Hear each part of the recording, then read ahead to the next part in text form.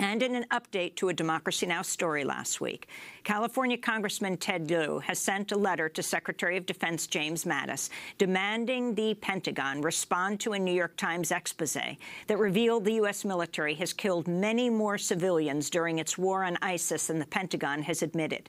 In an expose entitled The Uncounted, journalists Azmat Khan and Anand Gopal reveal in the New York Times Magazine the U.S. is killing civilians in up to one in every five airstrikes, a figure 31 times higher than the Pentagon admits.